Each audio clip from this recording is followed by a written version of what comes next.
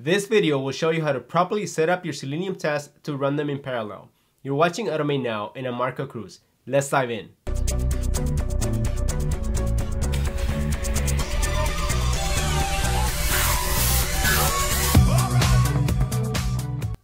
If you run your Selenium tests sequentially, you know how slow this process can be. That is like going to an ATM machine and having to wait in line for hours on end, waiting for the next person in front of you to finish drawing some cash.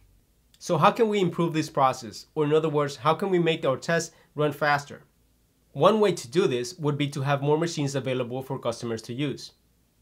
By having more machines available, we would be able to serve more customers in the same amount of time. It would also mean that the user experience would be greatly enhanced. Now, taking this back to Selenium, this would mean that we could execute more tests in the same amount of time.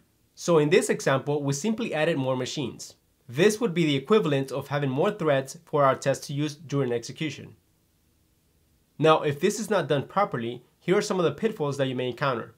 You may see things like null pointer exception, no such session exception, WebDriver exception, among others.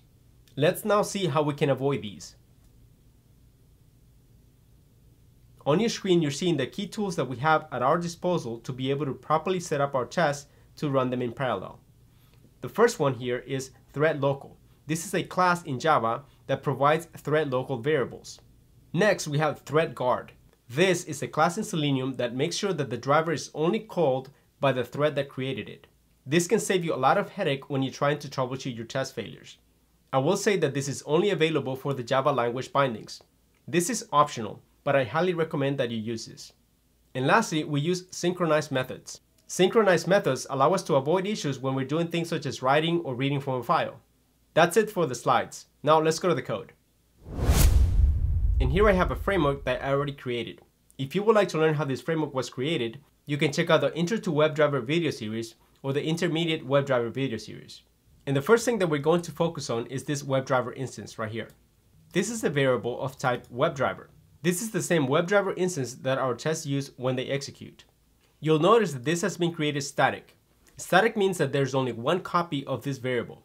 This is great if you're running your tests sequentially, because you're only running one test at a time, hence you only need one instance of WebDriver. However, trouble comes when you're trying to run your tests in parallel. If you only have one instance of WebDriver, and you have multiple threads trying to operate on that same instance, then issues arise. So what we need to do is to make WebDriver thread safe. What does that mean? It means that we need to give each thread a separate copy of the WebDriver object. So how do we do this in Java, you may ask? Well, we need to use thread local.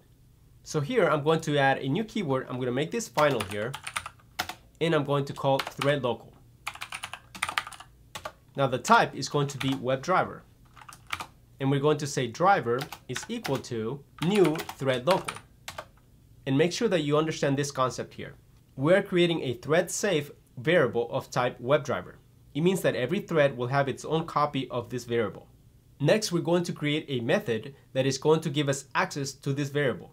So let's go down here and let's create a new method. And we're going to say public static. This will return a WebDriver object. And let's call it getDriver. Now we need to say return driver dot get. So when we call this method getDriver, it is going to return us a copy of this WebDriver object. Great, so now we have that set up. Let's keep going. We're going to scroll down to the area where we set up the WebDriver. Here I have this method called openBrowser. This is the one that creates the new WebDriver instance. You'll notice here that in the case of Chrome, it does driver is equal to new Chrome driver. So we need to make a minor change to this right here. So let's remove this and we're going to say driver dot set. Now, why are we saying driver dot set? Recall that driver, in this case, is a thread local variable. So by calling driver dot set, we're setting the current thread's thread local variable. And inside this parentheses, I can say new Chrome driver. And you can stop right here if you want to. However, I'm going to take this a step further to show you how to use the thread guard Selenium class. So here I'm going to say thread dot protect. And I'm going to wrap this new WebDriver around that. Recall what I said about ThreadGuard. This is an extra Java Selenium security feature that makes sure that driver is only called by the thread that created it. And so far I showed you how to implement thread local as well as ThreadGuard, but I still haven't shown you how to use synchronized methods. Let's go take a look at that now.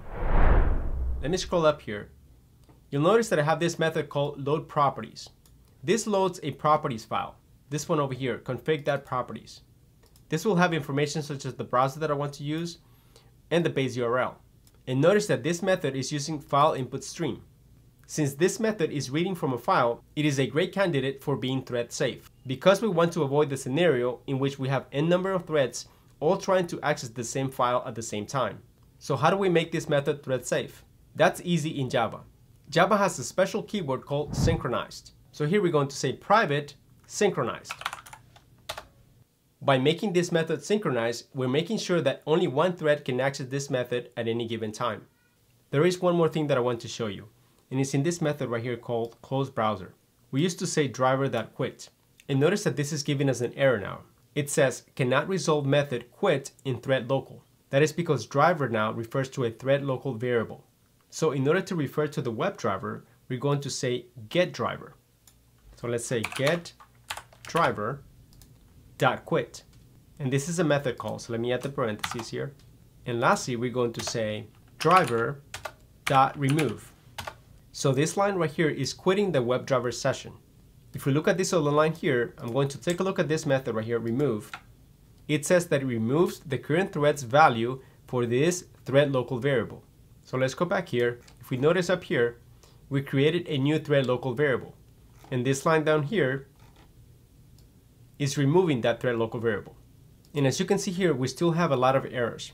And that is because we used to call driver directly. We used to say driver that do this, driver that do that. But we can no longer do that. Now we have to refer to this method up here that gets the driver, this get driver method. So instead of saying driver over here, that manage, I'm going to say get driver. And call this method. Notice that the error goes away. So now we're referring to a WebDriver that is thread safe. And we would have to do this for all of these errors over here. For example, whenever we try to find an element, in this case over here, I would say get driver dot find element. The same thing for this one, get driver dot close, get driver dot navigate, and so on and so forth. Thanks for making it to the end of the video. In the next video, we're going to learn how to use TestNG to run our test in parallel. This video showed you some interesting Java concepts. If you enjoyed this video, check out this other video I made on the singleton design pattern. Thanks so much for watching. I'll see you guys in the next video.